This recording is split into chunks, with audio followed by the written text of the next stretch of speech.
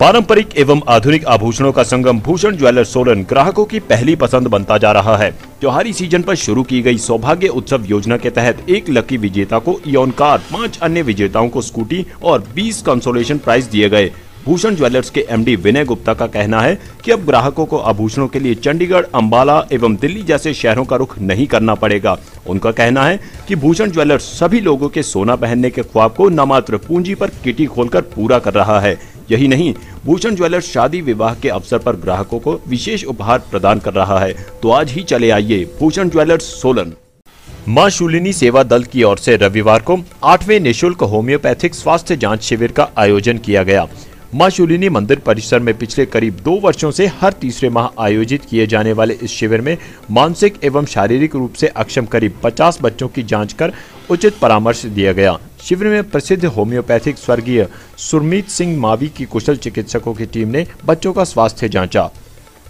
माँ शूलनी सेवा दल द्वारा स्पेशल चिल्ड्रंस के लिए लगाया गया मुफ़्त चिकित्सा होम्योपैथिक कैंप का आठवां दौर है। पिछले लगभग सवा दो सालों से हम ये कैंप चला रहे हैं। इसको डॉक्टर सुमित सिंह मावी जी के सानिध्य से शुरू किया गया था। और एक विशेष चीज़ ये है कि आज वो हमारे बीच में नहीं है। उनका पिछले 17 दिसंबर को स्वर्गवास हो गया। पर उन्होंने जितने भी संस्कार थे, अपने पूरी ज़िंदगी जैसे उन्होंने मानवता की सेवा करी और वो सारे संस्कार उन्होंने अपने बच्चों को दिए। उनका पूरा परिवार, उनकी वाइफ उनके बच्चे सभी इस कार्य में लगे हुए हैं। उनके द्वारा देश में कई प्रकार, कई सारे इस प्रकार के कैंप मुफ़्त कैंप लगाए जाते हैं। आज हमारा ये आठवां कैंप है। इसमें आज उनके बेटे और उनके परिवार व उनके कुलीग सारे आए हुए हैं। और हमारे जैसे कि मैंने पहले कहा कि हम आठवां कैंप है, ये हमारा चल रहा। और हमारे लगभग यहाँ पर आज 20 पेशेंट ऐसे आए हैं जो पहले दिन से हमारे पास आ रहे हैं। टोटल रजिस्ट्रेशन हमारी लगभग 40 के करीब हो गई हैं, जिसमें कुछ नए भी आते हैं। अभी समय है और पेशेंट भी आ रहे हैं। और जो हमारे 20 पेशेंट पहले से यहाँ लगभग हैं 20-22 उनसे अगर हम इंटरव्यू करें या आप इंटरव्यू करें तो उनको सभी को फ़ायदा है इस चीज़ से।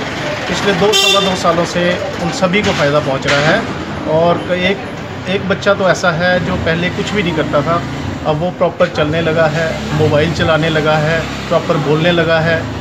इस प्रकार से यहाँ पर जो हमारी कम्युनिटी है और हमारे इर्द गिर्द के लोग हैं, बहुत लाभान्वित हो रहे हैं। और हम शून्य सेवा दल की तरफ़ से एक तो डॉक्टर मावी को भावभीनी श्रद्धांजलि अर्पित करते हैं और वह उनके जो हमारे ऊपर ये ऋण है जिसकी वजह से आज हम यहाँ खड़े हुए आपके सामने ये बोल रहे हैं, उनके सानिध्य से जो ये कैंप चला आ रहा है, उसके लिए भी उनको हम शुक्रगुजार हैं। दिव्य हिमाचल वेब टीवी के लिए सोलन से जय ठाकुर के साथ सौरभ शर्मा की रिपोर्ट।